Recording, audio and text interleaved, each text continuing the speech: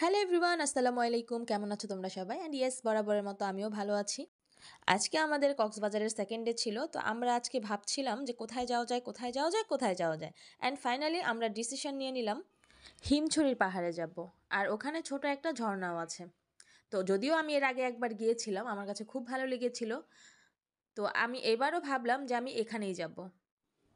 আর যেতে যেতে চারপাশের যেই পরিবেশটা খুবই ওয়াও লাগছিল, এক পাশে হচ্ছে গিয়ে পাহাড়, আরেক পাশে বিচ গাছপালা, আকাশ সব কিছু মিলিয়ে অসাধারণ একটা ভিউ ছিল। আর এই পথটায় আসলে আমার মনে হয় যে রাস্তা যদি শেষ না হতো, খুব ভালো হতো। এভাবেই করে চলতে থাকতাম চলতে থাকতাম।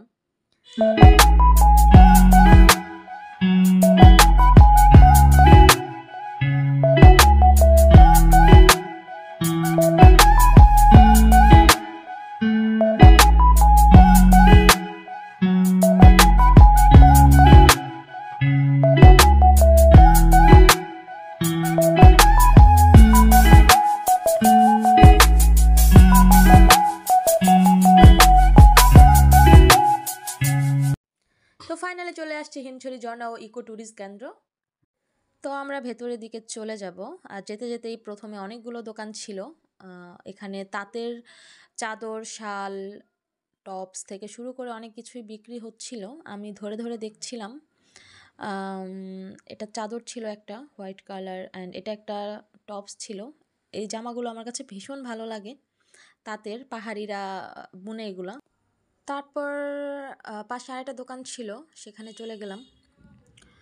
এখানে দেখতে পাচ্ছি অনেক রকমের ব্যাগ, যেগুলো নাকি হাতে বোনা। এগুলো আমি দেখছিলাম।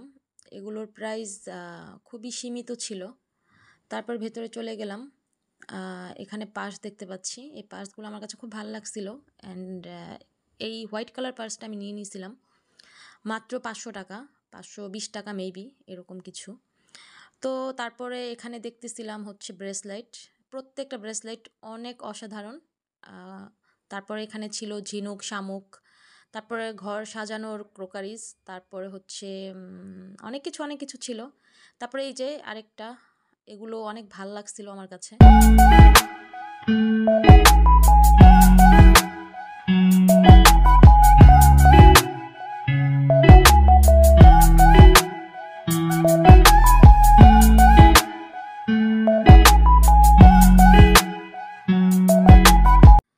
ওখান থেকে কিছু জিনিস কিনে ফেললাম, আর তারপরে আরেকটা দোকানে গেলাম।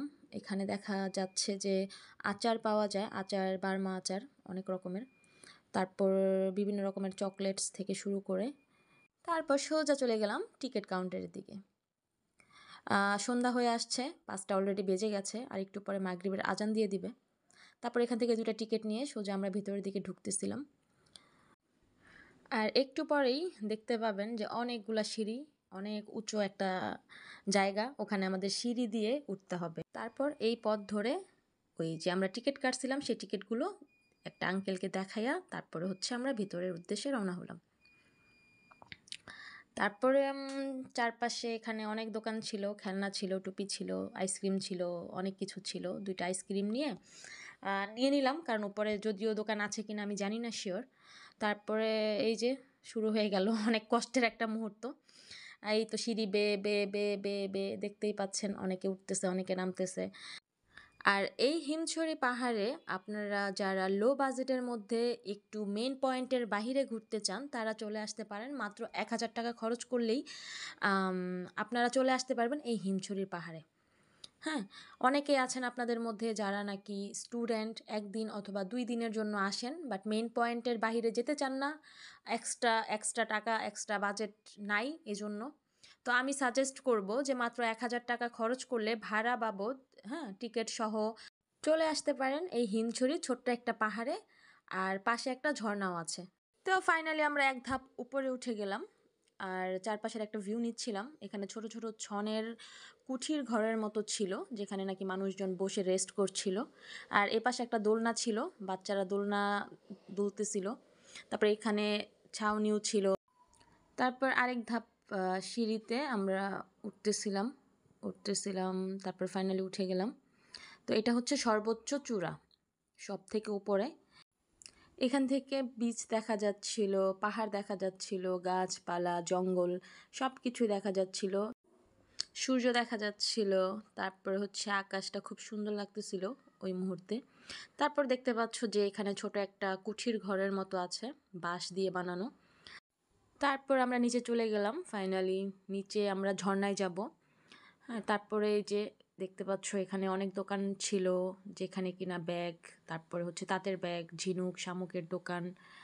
তারপরে আমরা চলে যাচ্ছিলাম এই পথ ধরে ঝর্নার উদ্দেশ্যে।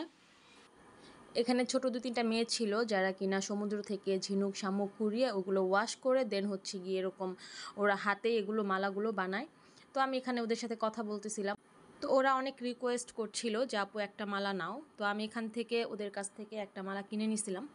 তো যাই হোক সোজা চলে গেলাম ঝর্নার দিকে। আর দেখতেই পাচ্ছ যে ছোট বড় আকারের পাথর দেখা যাচ্ছে, আর সাইডেই হচ্ছে ঝর্ণা বেয়ে পড়তেছিল পাহাড় থেকে।